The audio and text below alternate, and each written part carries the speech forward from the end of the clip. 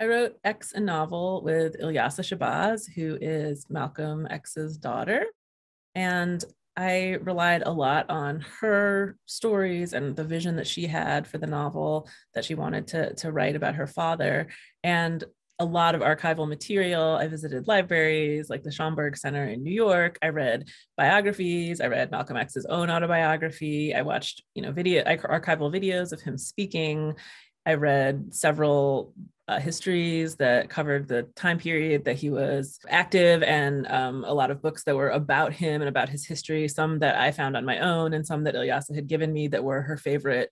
The book is very much based on Malcolm's real life. It is as true to history as we could make it.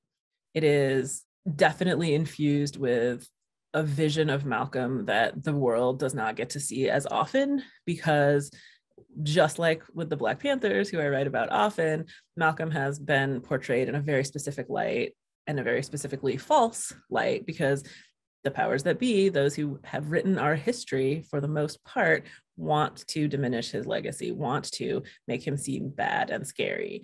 And so the novel was deliberately about getting underneath some of those impressions, getting underneath some of those misconceptions to write about the young man who became a world renowned speaker and leader, preacher, humanitarian.